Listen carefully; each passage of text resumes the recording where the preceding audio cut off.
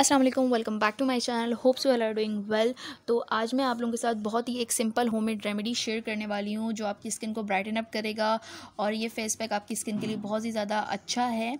अच्छा इस इंग्रेडिएंट्स के इस होममेड रेमेडी के मेन दो इंग्रेडिएंट्स हैं, चावल का आटा और मैदा। वीडियो स्टार्ट करने से पहले मैं आप लोगों को बताती चलूँ कि मैं होममेड रेमेडीज़ वीडियो से रिलेटेड वीडियोज़ प्रोडक्ट्स के रिव्यूज़ करती हूँ। मुझे इंस्टाग्राम और फेसबुक पर आप लोग ज़रूर फॉलो कर लें और मुझे सब्सक्राइब ज़रूर कर दिएगा। कमेंट सेक्शन मुझे ज़रूर बताइएगा।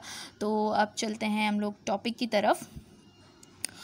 तो सबसे पहले जो इसका आटा है, चावल का आटा, चावल का आटा जो है एशियन कंट्रीज़ में वाइटनिंग के लिए बहुत ही ज़्यादा यूज़ किया जाता है। चावल के आटे में एंटी एजिंग प्रॉपर्टीज़ के साथ साथ वाइटनिंग प्रॉपर्टीज़ भी पाई जाती हैं।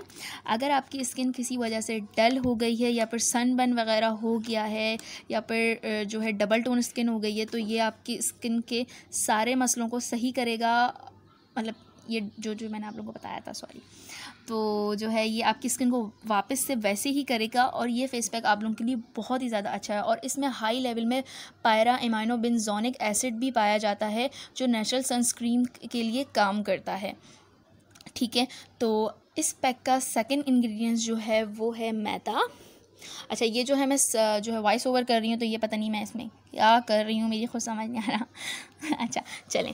तो अब जो सेकंड इंग्रेडिएंट्स है, वो है इसमें मैदा। मैदा जो है सन प्रोटेक्टर के लिए सन प्रोटेक्टर के लिए बहुत ही ज़्यादा अच्छा है और इसमें एंटीऑक्सीडेंट भी होता है, जो हमारी स्किन को सन डैमेज से बचाता है।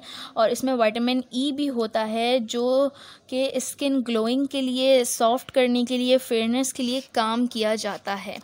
तो अब हम लोग सबसे पहले एक क्लीन बाउल ले लेंगे। अच्छा क्लीन बाउल ले लेंगे और इसमें हम लोग पहले ऐड करेंगे। अब देखते हैं मैं पहले क्या ऐड करती हूँ, क्योंकि मैंने एक अक्सर रिकॉर्ड की हुई और मैं भूल गई हूँ। अच्छा मिल्क जो है ना, वो हमारी स्किन हम वाइटनिंग के लिए बहुत ही ज़्यादा अच्छा है। तो पहले हम लोग मिल्क मैंने उठा लिया है और मिल्क नहीं, पहले चावल का आटा मिलाएँगे, ठीक है? आप लोगों को जितना चाहिए, मैं इसमें मिला रही हूँ एक टेबल स्पून आप लोग जो है एक से दो टेबल स्पून मैं इसमें ऐड करूँगी ताकि मैं अपने हैंड फुट नेक वगैरह के लिए यूज़ कर सकूँ। और आप लोग इसको अपने हैंड फुट और नेक वगैरह के लिए यूज़ कर सकते हैं। अच्छा यहाँ पर मैंने मैदा भी टू टेबल स्पून लिया है। अब मैं इसको थोड़ा मिक्स कर लूँगी। और जी, ये मिल्क डालते हुए मेरे से गिर गया नीचे और मैं कुछ काम करूँ और कुछ ख़राब ना हो ना, ऐसा नहीं हो सकता, बिल्कुल भी नहीं हो सकता। ये देखें जी, मिल्क जो है नीचे गिर गया है और मुझे यहाँ पर इतना शदीद गुस्सा आ रहा था। तो अच्छा ये मैं मिक्स भी कर रही हूँ तो अब ज़रा पहले मैं इसको साफ़ कर लूँ, फिर वापस आती हूँ, ठीक है? तो जी, मैंने साफ़ भी कर लिया और मैंने थोड़ा थोड़ा साथ साथ इसको मिक्स भी कर लिया था, ठीक है? ये देखें मैंने उसको अच्छे से मिक्स कर लिया है। अच्छा इस वाले पैक को आप लोग कम से कम 20 मिनट के लिए अपनी जो है फेस नेक जहाँ पर भी आप लोग अप्लाई कर रहे हो हैंड पे फुट पे तो आप लोग इसको 20 मिनट तक लगे रहने देना। 20 मिनट बाद जब ये ड्राई हो जाए तो इसको हल्का सा पानी से लगा कर इसको अपने स्किन से ना स्क्रब भी करना, क्योंकि चावल का आटा जो है ना, वो स्क्रबिंग के लिए भी यूज़ किया जाता है। अब यहाँ पर मैं आप लोगों को अप्लाई करके भी दिखा देती हूँ। और सीरियस माने मतलब कि बहुत ज़्यादा अच्छा यार। ये मेरी स्किन को ना बहुत ज़्यादा ग्लो भी करा था। और बहुत ही ज़्यादा मुझे अच्छा लगा। अच्छा ये आप लोग, अगर आप लोगों को इसके अच्छे रिज़ल्ट चाहिए तो आप लोग वीक में दो से तीन, थ्री टाइम्स आप लोग इस पैक को ज़रूर इस्तेमाल करिएगा।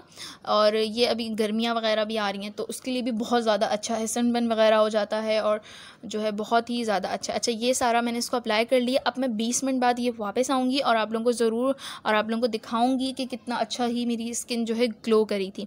ठीक है, अब मैं ये जा रही हूँ। और पता नहीं मैं क्या क्या बोल रही हूँ।